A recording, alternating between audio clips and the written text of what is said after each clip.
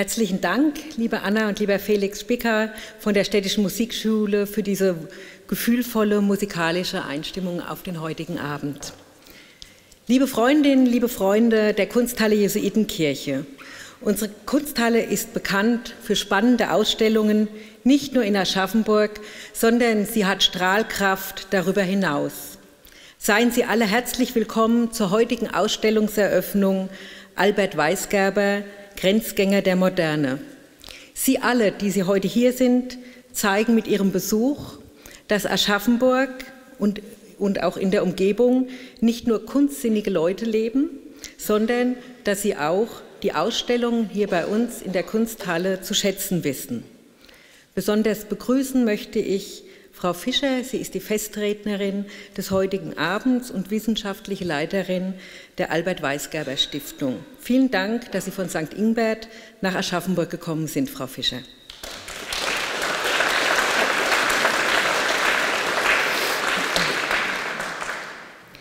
Kunst braucht gesellschaftliches Engagement. Ohne das geht es nicht. Und daher freue ich mich, Herrn Professor Johannes Weißmüller begrüßen zu dürfen. Er ist Vorsitzender unseres Fördervereins Kunsthalle Jesuitenkirche. Weiterhin begrüße ich Museumsdirektor Dr. Schauerte und die Leitung der Kunsthalle Jesuitenkirche, Frau Dr. Ladleif. Danke an Sie, dass Sie immer wieder so spannende Ausstellungen initiieren hier bei uns in der Stadt. Finde auch, es ist einen Applaus wert. Albert Weisgerber, Grenzgänger der Moderne. Ich kannte den Namen nicht, vielleicht war er auch Ihnen nicht so geläufig. Und es ist so, wenn ich eine Ausstellung eröffnen darf, was ich sehr gerne mache, dann beschäftige ich mich auch mit dem Künstler vorher und versuche auch so ein bisschen in seine Werke einzutauchen. Und ich muss sagen, Albert Weisgerber hat mich überrascht. Mir ist bewusst geworden, dass er zu den aufstrebenden Künstlern zu Beginn des 20. Jahrhunderts gehörte. Und er ist zu Unrecht in Vergessenheit geraten, weil er das Schicksal mit Künstlern wie August Macke und Franz Marc teilte, die, wie er, im Ersten Weltkrieg gefallen sind. Albert Weisgerber Geboren als Sohn eines Bäckers 1978, war vielseitig ausgebildet. Er gelangte über den Abschluss der Kreisbau-Gewerkschule, den Besuch der Kunstgewerbeschule in München mit einem kurzen vorherigen Abstecher nach Frankfurt, bei dem er sich als Dekorationsmaler weiterbildete, an die Akademie der Künste in München. Ende 1913 wurde er Gründungsmitglied und erster Vorsitzender der neuen Münchner Secession, der unter anderem auch Alexei von Jawlensky, Alexander Karnold, Paul Klee, Edwin Schaaf und Max Unold angehörten. Und damit hatte er unverkennbar eine führende Position innerhalb der Münchner Avantgarde eingenommen. 1914, vor Ausbruch des Ersten Weltkrieges, fand die erste Ausstellung der neuen Münchner Secession statt, an der, an der er sich unter anderem mit Max Beckmann, Erich Heckel, Oskar Kokoschka, Wilhelm Lehmbruck, August Macke und Max Pechstein beteiligte. Alles bekannte Namen aus der Kunstszene. Und in München hatte Albert Weisgerber zuvor gemeinsam mit Paul Klee und Wassily Kandinsky in der Malklasse bei Franz Stuck studiert und zeichnete als Karikaturist für die Münchner Wochenschrift für Kunst und Leben mit dem Namen Jugend. Und es gibt da eine ganz wunderbare Karikatur und Sie sehen sie auch in der Ausstellung. Sie heißt Im Sittlichkeitsverein. Schauen Sie sich, schauen sie sich diese an. Sie ist oder sie beleuchtet wirklich mit viel Witz die Brüderie der wilhelminischen Gesellschaft. Ich durfte sie heute Nachmittag schon mal sehen. Also das ist richtig, eine richtig feine Karikatur. Und Weisgerber, er übertrug in der für ihn typisch stilistischen Freiheit Traditionelle Themenfelder, und Sie werden es auch in der Ausstellung sehen, wie Porträt, Figurenbild, Landschaft, religiöse und mythologische Sujets in die Bildsprache der Gegenwart. Der Grenzgänger der Moderne arbeitete dabei manchmal impressionistisch, manchmal aber auch expressionistisch, Manchmal erkennt man den Einfluss Cézannes oder man wird an El Greco erinnert. Albert Weisgerber lernte viele interessante Künstler und Persönlichkeiten kennen, die ihn auch beeindruckten. Unter anderem schrieb Weisgerber 1906 aus Paris in einem Brief an den, damaligen, an den damals 22-jährigen Theodor Heuss, den er zuvor, ein Jahr vorher, bei einem Faschingsfest in München kennengelernt hatte, wenn man nichts will und ohne Programm Studien malt, wie ach so viele mit großem Erfolg, dann geht's ja eher. Aber das Ringen nach Stil, will ich sagen, das verlangt Bärenkraft. Und dieses Ringen nach Stil und sein viel zu früher Soldatentod hat sicherlich dazu beigetragen, dass Weisgerber, der auch in seiner Pariser Zeit 1905, 1906 mit Künstlern wie Henri Matisse im Austausch stand, lange Zeit nahezu in Vergessenheit geraten ist. Und im Jahr 2015, an seinem 100. Todestag, da widmete ihm das Saarlandmuseum eine ganz große Retrospektive. Und Sie, liebe Frau Fischer, Sie waren auch an der Retrospektive die wissenschaftliche Leiterin und haben sich daran maßgeblich beteiligt und haben damals das Projekt in Saarbrücken, wie auch jetzt bei uns, großzügig mit Leihgaben aus Ihrem Bestand unterstützt. Und ich bitte Sie, sagen Sie auch dem Oberbürgermeister und Vorstandsvorsitzenden Professor Dr. Uli Meyer sowie dem Landrat Dr. Theophil Gallo unseren herzlichen Dank, den Dank der Stadt Aschaffenburg, denn beide haben genauso wie Sie sofort von Anbeginn gesagt, wir machen diese Kooperation mit der Kunsthalle Jesuitenkirche und nur deswegen können wir hier diese großartige Ausstellung auch zeigen. Also vielen Dank nochmal ins Saarland.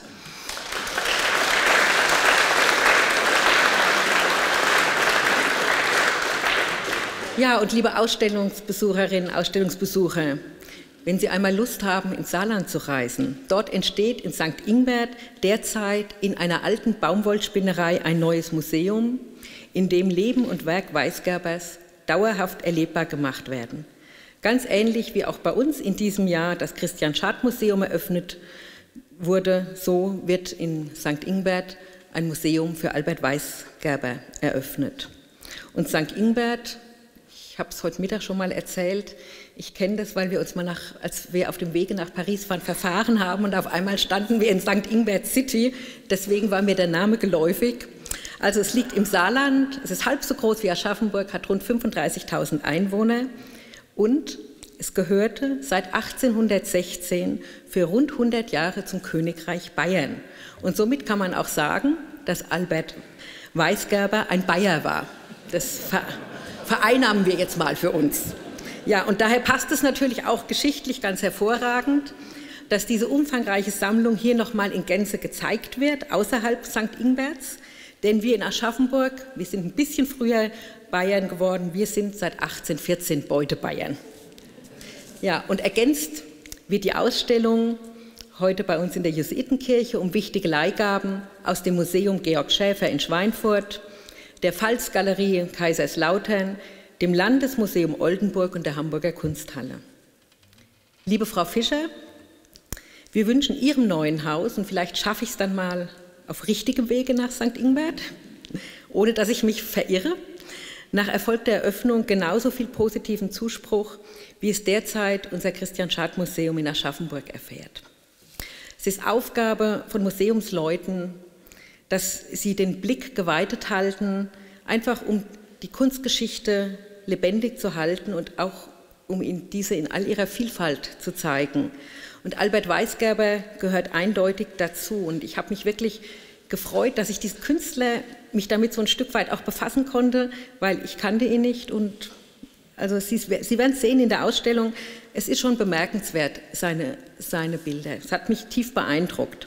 Ja, er war ein inspirierender, vielseitiger Künstler, und es ist auch richtig, dass er nun posthum wieder zu Ehren gelangt. Ich freue mich auf den Vortrag und liebe Ausstellung oder liebe Besucherinnen, liebe Besucher, Ihnen wünsche ich eine inspirierende Ausstellung. Sie werden, glaube ich, viel Freude haben und uns allen gemeinsam wünsche ich einen schönen Abend.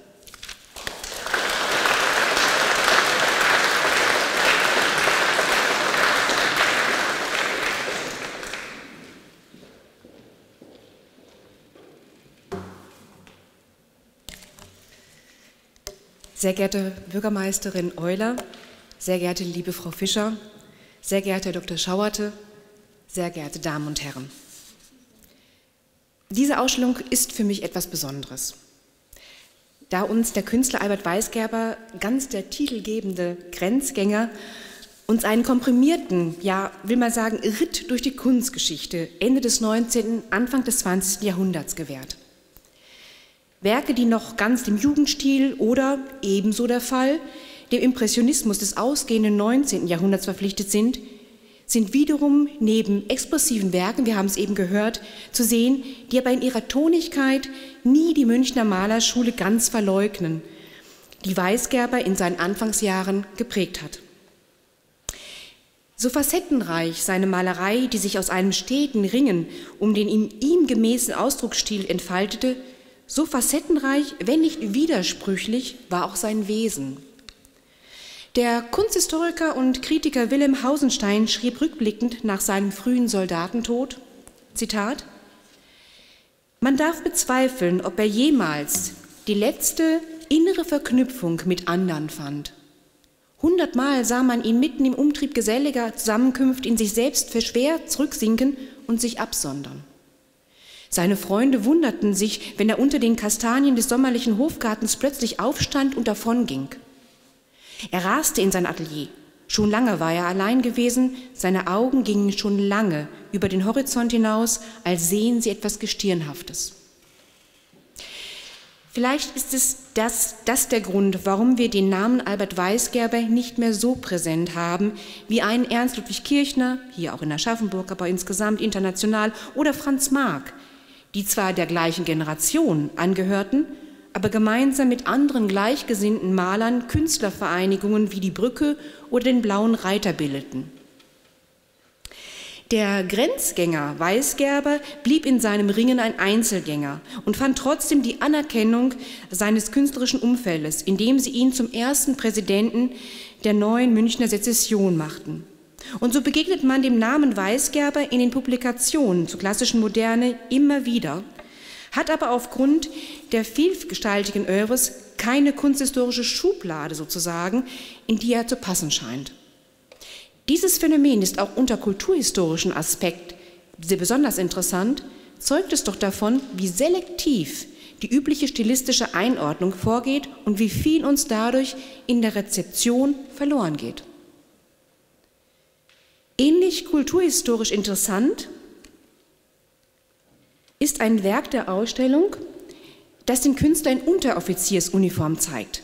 Das Bild entstand 1905. Ein Jahr zuvor hatte er seine Lebensgefährtin und spätere Ehefrau Margarete Pohl kennengelernt.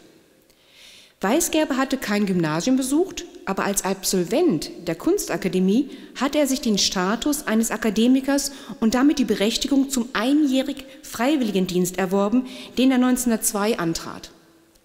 Somit stand ihm auch eine Offizierskarriere offen.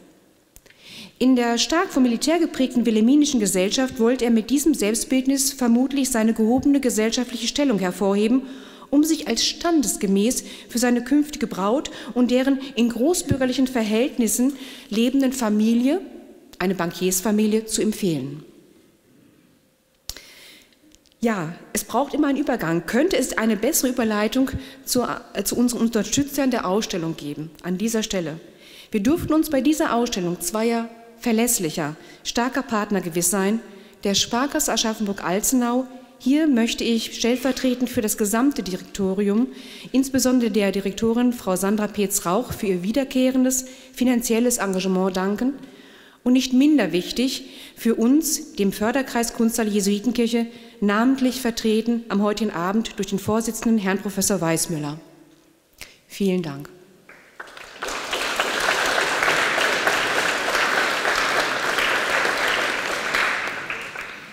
Frau Petz-Rauch lässt Sie alle herzlich grüßen und entschuldigt sich für die heutige Öffnungsfeierlichkeit, weil sie terminlich leider verhindert ist.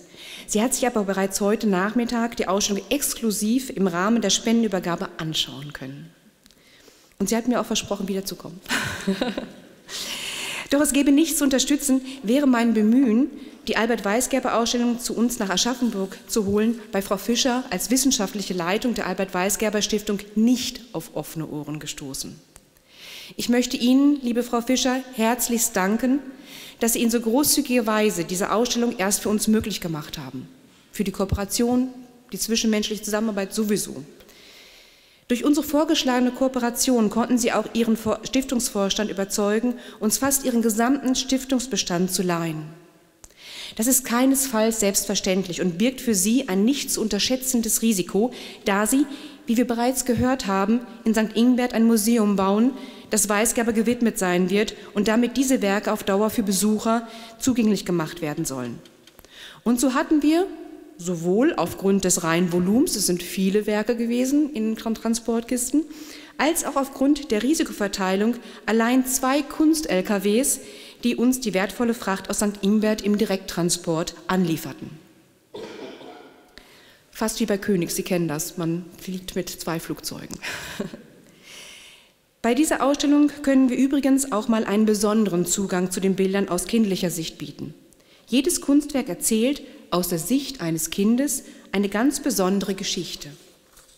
Gemeinsam mit den Klangkünstlern Katharina Bieler und Stefan Scheib vom Liquid Penguin Ensemble haben Schüler und Schülerinnen der Klassenstufen 5 und 6 des Albertus Magnus Gymnasiums in St. Ingbert im Rahmen eines kunstpädagogischen Projektes aus Geschichten und Textcollagen zu neuen Bildern des Malers im Tonstudio originelle Hörspiele für Kinder produziert.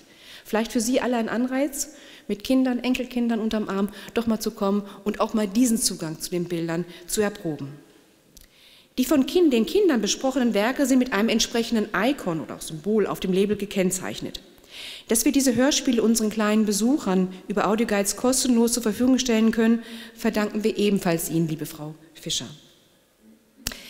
Ebenso gilt mein Dank den Kollegen der anderen leihgebenden Museen, die unsere Präsentation mit bedeutenden Weißgerber-Gemälden ihrer Sammlung ergänzen. Sie haben schon gehört, äh, das namentlich die Hamburger Kunsthalle zu erwähnen, das Landesmuseum Oldenburg, das Museum Pfalzgalerie Kaiserslautern und das in unserer Nähe liegende Museum Georg Schäfer in Schweinfurt. Dank gebührt aber auch unserem Team, allen voran meiner Kollegin Jessica Eschenbach aus dem Ausstellungsbüro der Kunsthalle, dem eingespielten Hängeteam Herrn Eckert, Herrn Kramp, Herrn Schwendner, Herrn Ücke und Herrn Zoller. Den beiden zuletzt genannten gebührt zudem der Dank, die Ausstellung im wahrsten Sinne des Wortes ins rechte Licht gerückt zu haben. Besonderer Dank gilt wie immer unserer Restauratorin Frau Dennecke, die die Zustandsprotokolle verantwortet und auch das Auspacken und die Hängung zusammen mit den Kurierinnen der vom Landesmuseum Oldenburg und der Hamburger Kunsthalle begleitet hat. Ja, und nicht genug Dank kann ich immer dem technischen Dienst. Äh, besonders Herrn Frei, aber auch den Kollegen Herrn Baude und Herrn Lübbe, die eigentlich bei jeder praktischen Umsetzung in irgendeiner Form gefordert sind. Und auch wieder am heutigen Abend. Die Herren stehen dort hinten. Vielen Dank. Für die feierliche musikalische Umrahmung möchte ich Anna und Felix Spicker ganz herzlich danken und auch für die Aufregung, die wir erzeugt haben. Ähm, wir haben deshalb auch ein bisschen Verzögerung gehabt, äh, weil äh, wir wohl noch nicht ganz eindeutig kommuniziert hatten, dass es um 18 Uhr schon beginnt. also von daher, ähm, also ganz herzlichen Dank und es war wirklich wunderbar, wie schnell Sie sich konzentrieren konnten.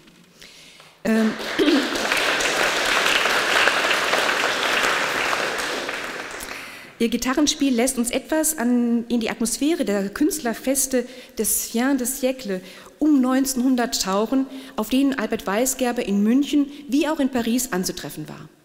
Einem der berühmtesten Künstlerfeste in Paris, dem Bal des Quatre Arts, also dem Ball der vier, vier Künste, widmete Weisgerber gleich drei Gemälde, die in der Apsis der Kunsthalle wieder zusammengeführt werden.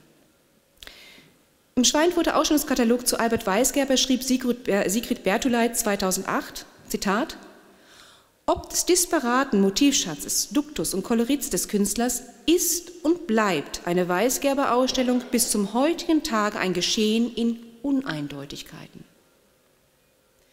Und Max Beckmann, einer der zentralen Künstlerpersönlichkeiten der klassischen Moderne, vermisste anscheinend Albert Weisgerber, als er bei Erhalt der Todesnachricht äußerte, Zitat, Albert Weisgerber ist im Westen gefallen. Es hat mich tief erschüttert.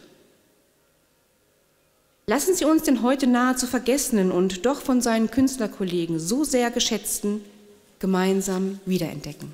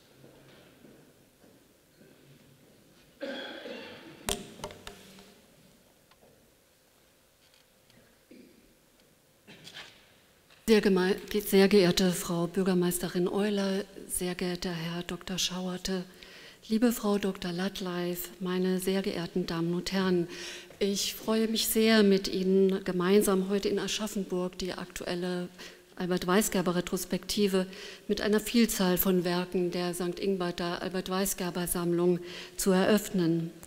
Albert Weisgerber 1878 in dem damals noch bayerischen Industriestädtchen St. Ingbert an der Saar geboren, wie wir gerade eben auch hörten, war Zeit seines Lebens in besonderer Weise mit München, seiner geliebten Wahlheimat, verbunden. München hatte ihn künstlerisch geprägt und ihm Anerkennung als führenden Vertreter der Moderne gebracht. Der Absolvent der Münchner Akademie war nicht nur Mitbegründer und erster Präsident der neuen Münchner Sezession, sondern hatte sich auch als ständiger Mitarbeiter der modernen Münchner Zeitschrift Jugend mit exzellenten Zeichnungen einen herausragenden Namen gemacht. Für das progressive Unterhaltungsblatt, das um 1900 zur Namensgeberin des Jugendstils wurde, schuf er rund 500 Illustrationen, Brotarbeiten, die sein Münchner Künstlerdasein als auch seine Reisen nach Frankreich und Italien ermöglichten. Albert Weisgerber gehörte wie August Macke und Franz Marc zu jener aufstrebenden Malergeneration, die zu Beginn des 20. Jahrhunderts den Weg in die Moderne vorausgegangen ist. Zur Verwirklichung seiner künstlerischen Ziele blieben dem Maler jedoch nur wenige Jahre vergönnt. 1915 fiel er mit nur 37 Jahren als Leutnant und Kompanieführer bei Fromel in Französisch-Landern. Damit fand sein junges, vielversprechendes Künstlerleben im Ersten Weltkrieg ein jähes Ende. Gleichwohl hatte Weisgerber bis zu seinem frühen Tod mit mehr als 400 Gemälden sowie unzähligen grafischen Arbeiten ein umfangreiches und vielschichtiges Övre von hoher künstlerischer Qualität und Individualität geschaffen. In der kurzen Zeit seines künstlerischen Wirkens vollzog sich in seiner Arbeit eine rasante Entwicklung, die maßgebliche Position der Moderne vom Jugendstil über den späten Impressionismus bis hin zu einem Expressionismus eigener Form und Prägung durchlief. Hierbei schuf er ein facettenreiches Werk, das die deutsche Kunst um einen essentiellen Beitrag bereicherte. Weisgerbers elementare künstlerische Begabung wurde früh erkannt und gefördert. Nach einer Lehre als Dekorationsmaler in der Kreisbaugewerbeschule in Kaiserslautern zog es den jungen Maler in die bayerische Metropole. Seit 1894 Schüler an der Kunstgewerbeschule schaffte er 1897 den Sprung an die Münchner Akademie, wo er sich neben Künstlern wie Wassily Kandinsky und Paul Klee zu den vielbeneideten Schülern des Malerfürsten Franz von Stuck zählen durfte. Auch Hans Purmann und Gino de Finetti, mit denen ihn seit der Akademiezeit eine lebenslange Freundschaft verband, gehörten zur Riege der Stuck-Schüler. Weisgerbers studentische Laufbahn an der Akademie, wo er die dunkeltonige Palette von Stuck, Leibel und Schuch kennenlernte, führte in schnellen Schritten in die vordere Reihe der Avantgarde. Seit 1901 dem stellte Weisgerber in der Sezession aus und war damit im Kreis der fortschrittlichen Münchner Kräfte aufgenommen. Die interessantesten Geister seiner Zeit zählten zu seinen Freunden und Weggefährten. In den einschlägigen Schwabinger Künstlercafés pflegt er zahlreiche freundschaftliche Kontakte zu Malern, Literaten und Kulturschaffenden der unterschiedlichsten Couleur. So etwa zu Ludwig Schaaf, Erich Mühsam, Max Halbe, Joachim Ringelnatz, Karl Arnold, Alfred Lörcher oder etwa Alfred Kubin. Von einzelnen von ihnen schuf er eindringliche Porträts, wie jenes seines Mäzens Ludwig Prager, das in der Ausstellung zu sehen ist. In München hatte Weisgerber 1904 im Café Stephanie auch Margarete Pohl, eine Malerin aus Prag, kennengelernt, der er das Gemälde Dame mit Windhut widmete. In der Manier einer gepflegten Salonmalerei setzt er seine künftige Braut in dem opulenten Bild wirkungsvoll in Szene. Huch. Moment. Ja, Entschuldigung, irgendwas ist hier gesprungen. Das Gemälde bildet den Auftakt einer ganzen Reihe von Bildern seiner späteren Ehefrau. Weisgerber, der sich trotz vielfältiger Kontakte zur Avantgarde keiner der revolutionären Künstlergruppen anvertraute, erwies sich auf seinem Weg zu künstlerischer Selbstständigkeit als ausgesprochener Grenzgänger, diversen Anregungen gegenüber offen, die er gleichwohl zu einer eigenständigen Bildform umzudeuten musste. Neben dem Einfluss der dunkeltonigen Malkultur der Münchner Schule wurde sowohl die Lichtmalerei des Impressionismus als auch der Expressionismus mit seiner psychischen Ausdruckskraft der Farbe richtungsweisend. Maßgebliche Impulse erhielt der Maler in Berlin, wo ihn 1905 die französischen Impressionisten nachhaltig beeindruckten. Unversehens reiste er in die französische Metropole, wo er von 1905 bis 1907 mit Unterbrechung fast zwei Jahre hinweg zum legendären Künstlertreff des Café du Dôme gehörte. Dort wurde er mit Matisse persönlich bekannt und traf sich mit einer bunten Schar aus Deutschland angereister Künstler, darunter Rudolf Levy, Hans Purmann, Jules Pasquin und viele andere. Wie schon in München konzentrierte sich der Maler auch in Paris insbesondere auf Porträts. Sie sehen hier ein Bildnis des Malers Adolphe Levier. Eine kolorierte Federzeichnung, die Sie in der Ausstellung sehen werden, zeigt ihn mit Freunden bei einem seiner Pariser Streifzüge. In mannigfaltiger Weise war Weisgerber in Paris mit den modernen Kunstströmungen in Berührung gekommen, hatte sich mit der alten Kunst ebenso auseinandergesetzt wie mit der Avantgarde. Einfluss gewannen vor allem Cézanne, Toulouse-Lautrec, aber auch Matisse, der 1905 bei seinem Auftritt im Kreis der Fauve einen wahren Skandal auslöste und letztlich Manet, dessen legendäre Olympia offenkundig den Anstoß zu Weisgerbers monumentalem Akt der Miss Robinson gab. Das spezifische Pariser Milieu des Varietés, des Theaters, des Zirkus und des Kabarets, das dem Wunsch des Fin de siècle nach Verdrängung der Wirklichkeit Ausdruck gab, fand in einer ganzen Reihe von Bildern Weisgerbers malerisches Interesse. Im Pariser Café von 1906 ist das Vorbild von Toulouse-Lautrec nicht allein im motivischen, sondern gleichwohl in der karikaturistischen Verdichtung der Szenerie offenkundig.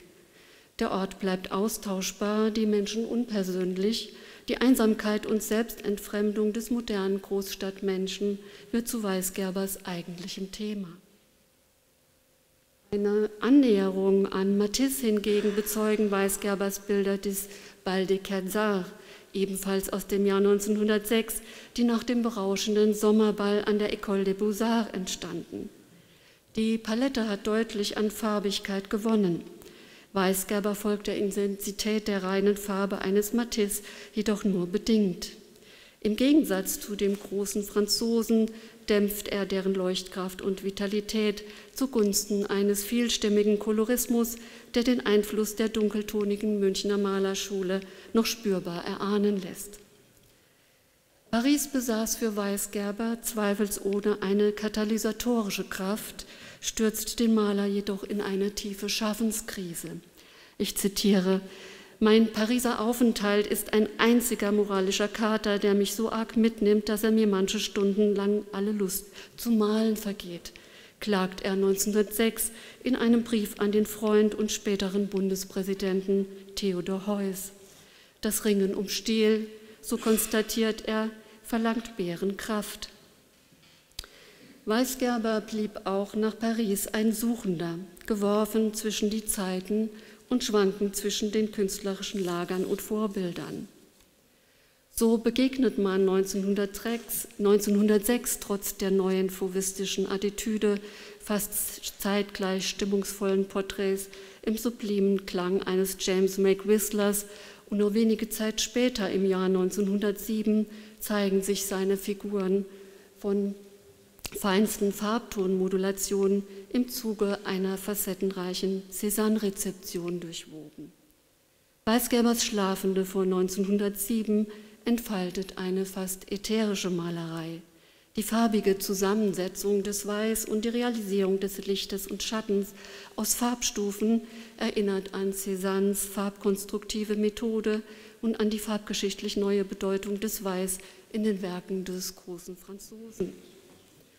So auch in der Atelierszene aus dem Jahr 1908 mit ihrer rätselhaften Abgewandtheit der Figuren und der Liegenden im Vordergrund. Eine Szene, für die Weisgerber die expressive Bildform wählte, die Edward Munk als Vorbild ins Gedächtnis ruft. Maskenhaft anonym erscheinen die Gesichter der dort versammelten Gesellschaft, deren Leidenschaften und Begierden sie jedoch tatsächlich nicht tatsächlich zusammenführt. In ihren Haltungen und Gesten gleichsam erstarrt, offenbart sich in ihnen die schneidende Erkenntnis einer unüberbrückbaren Verlassenheit und Einsamkeit des Menschen. Diese Einsicht und Erfahrung hinterließ in der Malerei des Künstlers in den nachfolgenden Jahren ihre Spuren.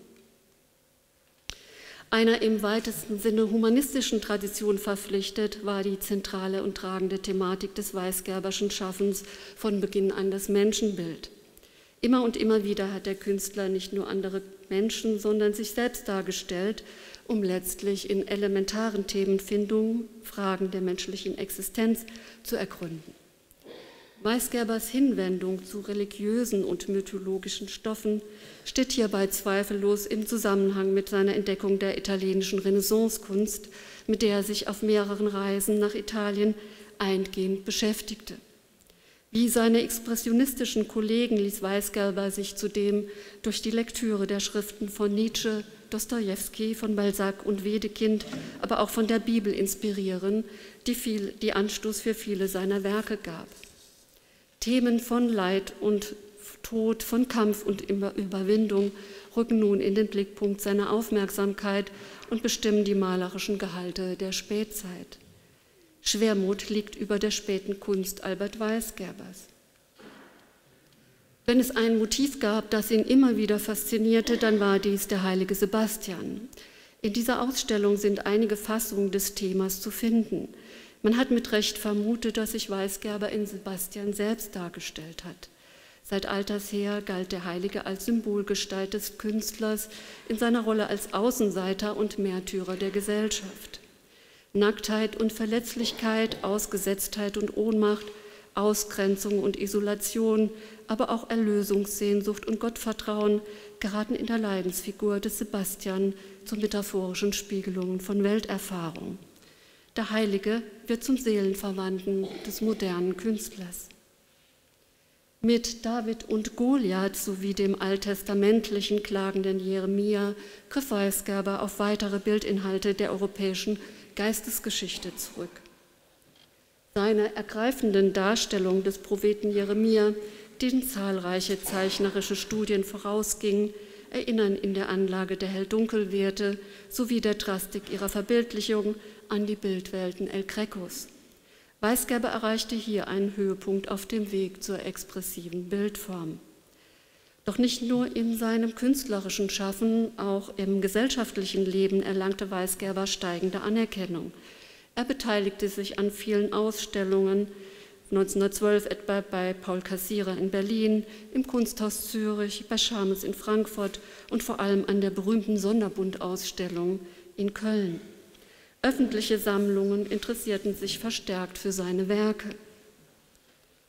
Mit der Ernennung zum Vorsitzenden der 1913 von ihm mitgegründeten Neuen Münchner Sezession stand er schließlich an der Spitze einer der progressiven Künstlervereinigungen jener Jahre, deren erste Ausstellung er 1914 noch ausrichtete.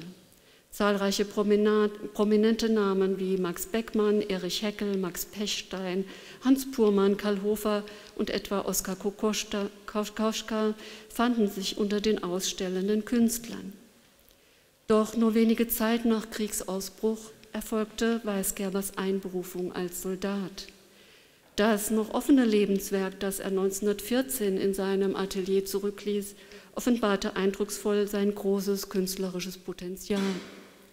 Während in Deutschland 1905 mit der Gründung der Dresdner Künstlergemeinschaft Die Brücke die Geburtsstunde des deutschen Expressionismus eingeläutet wurde und 1912 der Blaue Reiter in München die radikale Wendung zur Abstraktion vollzog, beschritt Weisgerber im Kreis des Münchner Expressionismus einen Sonderweg.